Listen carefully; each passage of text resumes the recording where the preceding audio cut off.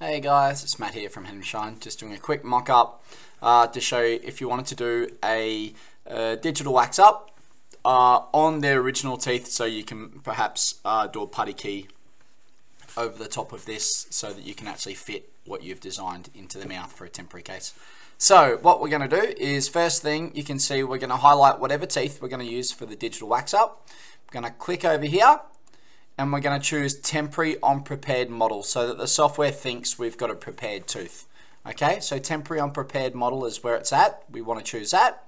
Um, and then what it's going to be uh, also with the model, we're going to make sure we untick these three here, here, and here. And we just tick this one just for a plain model. So once that's done, oh, um, let me just move this a little bit because my recorder is in the road. So pretty much all we're going to do, as I said, come in here, choose temporary on prepared model, and then that's not going to really, we don't need to mark the margin, we can just design the tooth. Uh, the temporary Pontic is going to allow us to delete the uh, tooth as well. So just digital impression, okay. Uh, no. So once it's going to come in, uh, we'll just go design.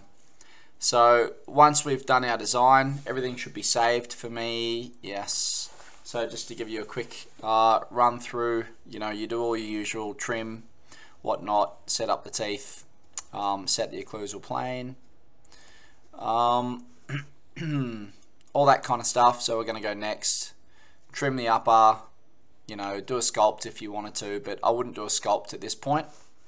Um, uh, because obviously we can do a sculpt later on when we're in the model builder step.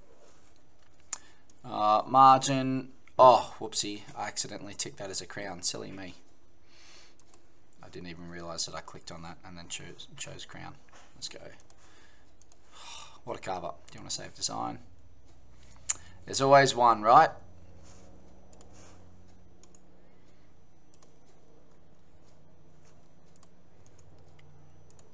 Rookie error, guys. Rookie error. No. What a goose. Design. Alright, so as I said, um, we're going to do all that without the crown. Um, so once again, occlusal plane, you know, trim where you want to trim, sculpt where you want to sculpt but in general as I said I wouldn't do the sculpting at this point. I'll do the sculpting later on uh, in the software.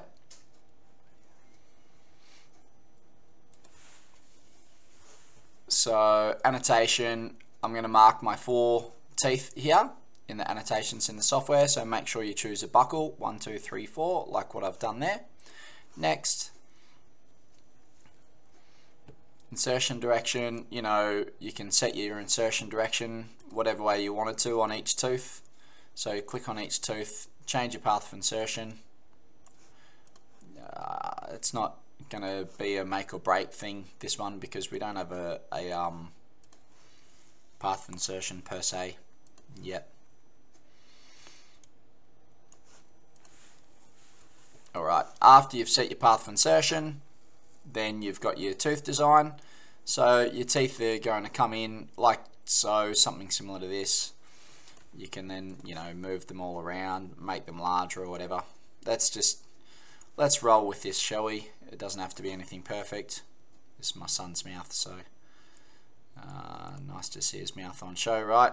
Um, so once we've done that, you can see we're, we're getting pretty close to kind of where we want to be at. Maybe we want to not have his teeth be quite so long so we'll just bring that down a smidgen. So something like that. Okay happy days. So now we're going to go to next.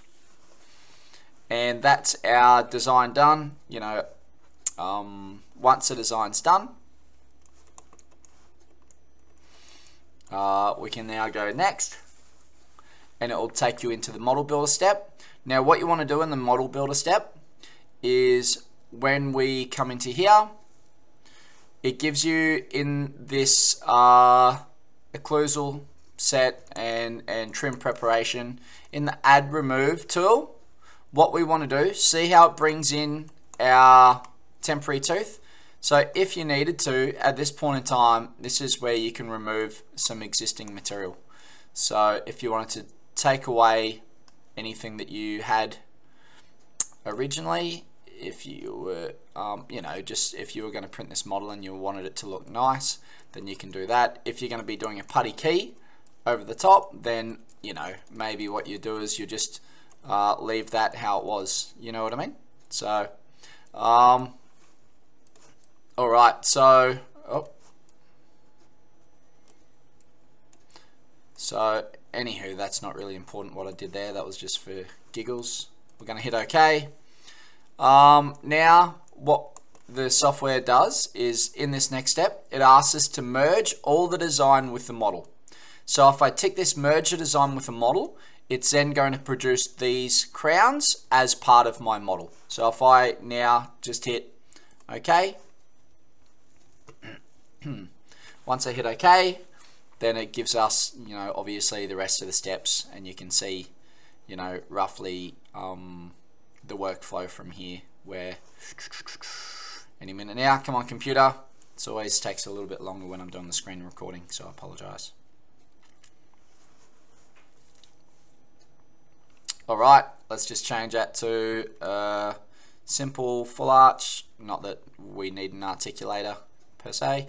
Um, so that's that, and we're going to hit OK, and then just save our model. Um, and that's it. So that's how you do a, a digital wax up um, by choosing merge the design with a model. Um, and on a, obviously you choose the temporary on a prepared model as well. And then you can just do a little bit of a morph at the very end there. So that's it. Enjoy guys. And uh, hopefully that one treats you well. Cheers. Bye.